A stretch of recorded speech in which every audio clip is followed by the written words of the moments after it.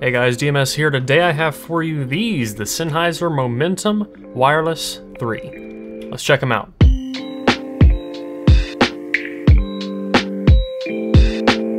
Okay, starting off with the build. Here they are. It ends up you can actually flip them on by lowering the left ear cup. There's a switch right here. You can see that light turns on, off, on. It's nice. That was a feature that the AirPods Max didn't have that I kind of wish they did have, and these do have that. These are actually kind of packed full of features, some that are good, some that are not. Uh, but let's go through build first and then we'll talk about all of that. So on the bottom here, luckily we do have a Type-C plug. That is nice, this can be used for charging, it can be used for uh, connecting from a computer to the internal DAC of the headphone, which is nice, and while doing that it will also charge it. There is a Twistlock analog input, which I'm not a big fan of that, but you know what? At least there's an analog input. There's a switch right here that lets you toggle between um, no sort of active mode on it, and then active noise canceling or the transparency mode. And there is a lot going on inside of these software-wise. Uh, we'll get to that a little bit later. That covers a lot of the exterior features. These do vibrate when you get a phone call. I'm not kidding, the headphones actually have a vibrating motor and they will vibrate on your head or on your desk if they're connected to Bluetooth when you get a phone call. So that's interesting. Comfort-wise, the pads are great. I don't mind the pads at all. There is a bit of a notch right here where the microphone is, but it seems to be in just the right spot where it doesn't touch my ear at all. There's a little bit of clamp force. The adjustment mechanism on the side is great. What I don't like, however, is the headband. The headband is padded. There is foam in here. It's thick, but it is just hard as a rock. And I really wish they had done what they did with the 650s or the 6XX and had a notch taken out in the middle because this is not particularly comfortable to me. Um, I know people who have tried it who have not had any problems with it, but it, it just gives me a headache. Okay, battery life. I actually haven't had to charge these since I got them. Battery life is pretty great. Uh, but also, then again, I have probably haven't had to charge them because about half the time when I use them, I use them over Type-C mode because as we will discuss, that is really where these shine the most. You can use them straight analog, um, but I don't really prefer that with these headphones. I think it's okay. They sound good over Bluetooth, but where they really shine is when you plug them from Type-C in this headphone to Type-C in a computer, and then you're using the internal DAC of the Momentum 3 wireless.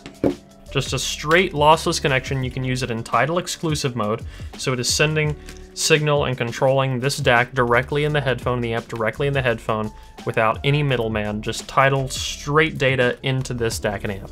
That sounds great. However, the tuning is a bit weird. I do have to use the Sennheiser app to set an EQ for them, uh, which luckily, once you set an EQ, it bakes the EQ into the headphones. So now anything else I plug this into, it retains those EQ settings. That I really like a lot, and I wish they had done that on the AirPods Max. The EQ that I set for this headphone, because it comes out of the box with pretty boosted bass and treble, is minus 6 decibels of bass. I leave the mid-range uh, as it is, and I pull the treble down about 3 decibels. To me, that sounds a lot more balanced than the stock tuning of these headphones. Even then, the bass does hit kinda hard. Now, if you are an absolute bass head, you'll probably love the stock tuning of these, and you might even increase it more.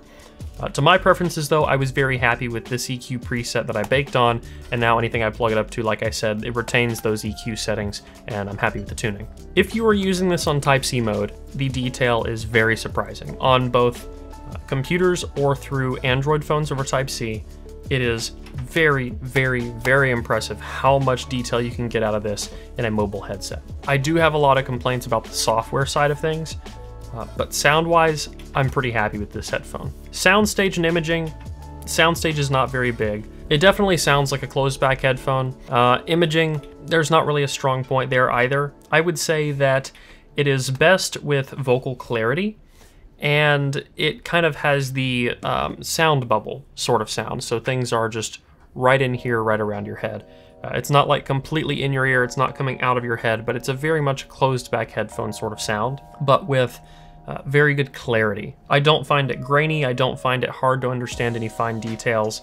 I just find that it's very well articulated, it's very clear, and not necessarily uh, exaggerated in any particular way other than the stock frequency response tuning. But overall, it's a good sounding headphone, especially if you're using it through Type-C, but here is where the problems are, the software. The software on this is a little bit of a mess. There's a feature so that when you take it off your head, it automatically pauses, and I disabled that, but it still does it anyway. If I make a phone call with these on my head, every like maybe 10, 15 seconds, it will mute the call and put it on hold or it will switch back to speaker on my phone and then switch back into this and go back and forth constantly. I was not able to get through a single phone call, unfortunately, at any point during using these over the past few weeks, so not ideal for that. And it could just be a compatibility issue with the phones that I tried it with, not sure. But I did have the same thing happen a lot when I was using it for um, music over Bluetooth. I would connect it to my laptop, and while just sitting there listening, it would pause the music as if I was taking it off my head, and then unpause and pause and unpause and go back and forth.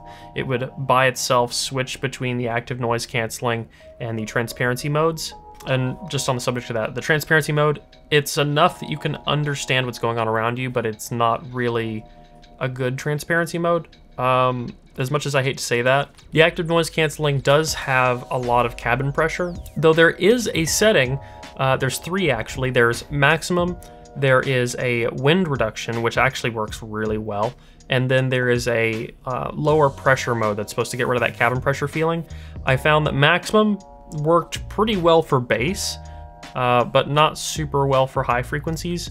The wind reduction mode worked almost perfectly. If I stood outside in wind, these would basically completely cut that out, but then wouldn't cut out other passive sounds.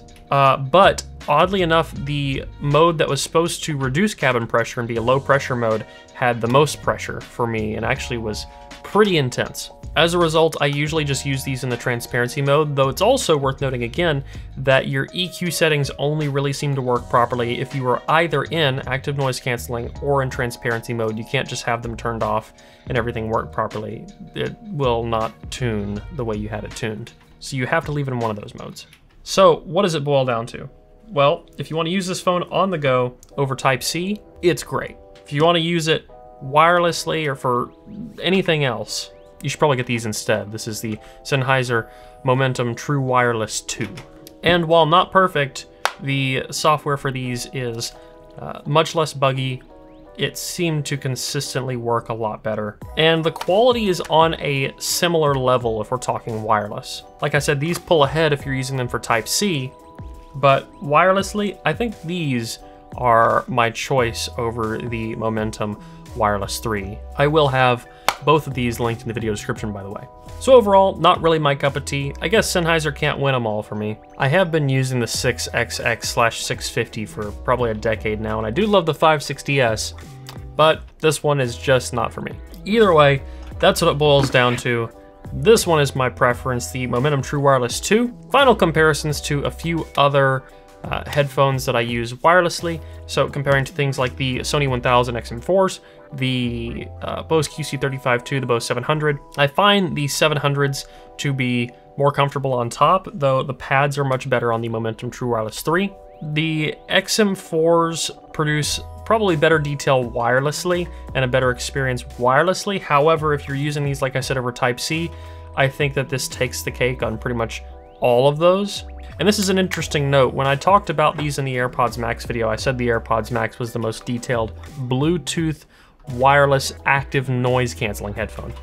And in that use case it is, but the main reason for that being is because when you want this to perform at its best, you're using it over the Type-C connection. And over the Type-C connection, like I said, this is way more detailed than that.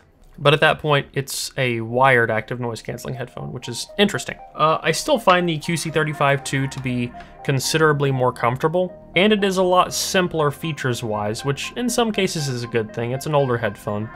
But this definitely beats out the QC35-2 significantly on sound. Okay, I think that's going to wrap this up. Guys, if you like this video, please leave a like down below, a comment letting me know what you want to see in the future. If you want to get active in the community, you can at forum.hifiguides.com. And as always, don't forget to stick around and subscribe for more videos like this in the future.